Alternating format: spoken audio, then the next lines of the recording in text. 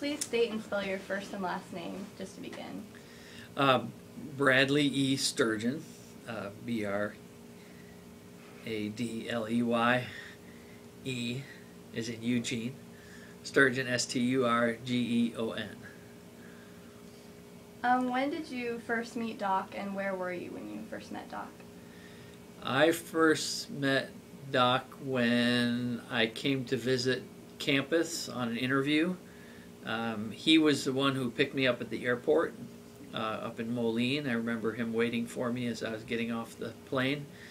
Um, we had a nice hour plus drive back from the Quad Cities, and uh, that was our first meeting. A nice opportunity to talk to him for an hour about things going on here at the college. Great. Okay. Um, what was your first impression of Doc? He had kind of a fatherly kind of appearance to him. Uh, he was kind of always looking out for you. Uh, he seemed to be concerned to make sure that everything was okay, that you were comfortable, and other, uh, you know, sort of, yeah, sort of something your dad might do for you. Make sure that everything's going okay is number one priority. And did this first impression hold true throughout the time you knew Doc? Um, yeah, I think it was pretty consistent. It became less apparent, but I think uh, Doc was always in the background, if not just thinking about the individual, but thinking about the the group. And so I think he was very concerned about the department and about the college and these sorts of things. So it was, uh, yeah, it just sort of took on a different form as you got to know him more and more. But yeah, generally he he had that fatherly kind of um, persona to him. Um, can you kind of expand on the fatherly persona? Like, um, was he just like that to you know the colleagues? Was he like that to students? Um, Um, well, I, actually, I guess um, one of the things I remember, I stayed at the Manor when I first came for my interview, and it was actually one of these very cold days, and I just had a sport coat. I didn't actually bring a heavy jacket because it really wasn't that cold out. Um, it wasn't true winter just yet, um, and I was not necessarily prepared for the very cold weather, and so without him ever saying or asking or whatever, when he came to pick me up to go to dinner that evening, he brought a, a big red coat with him. Uh, so again, he's just trying to sort of look out.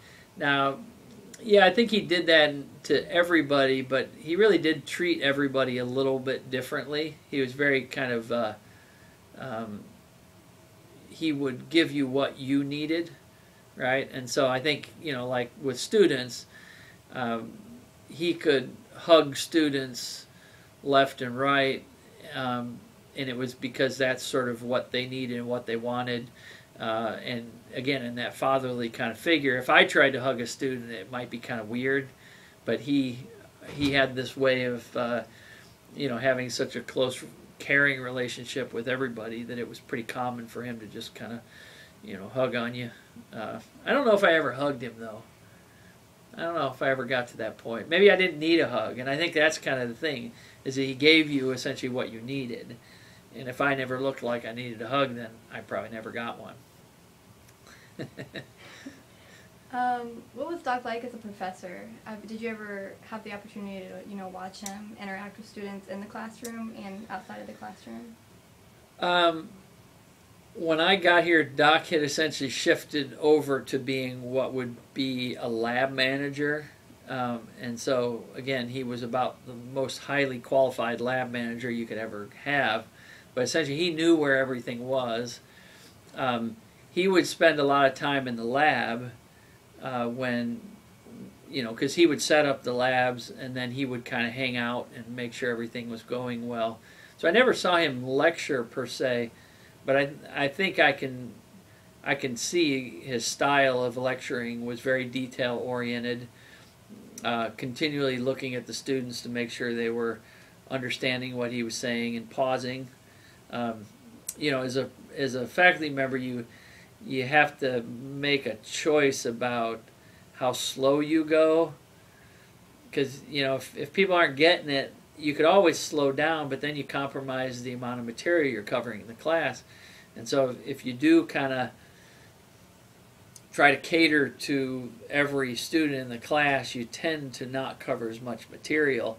And I don't think he was ever bothered by the fact that maybe he didn't get to something.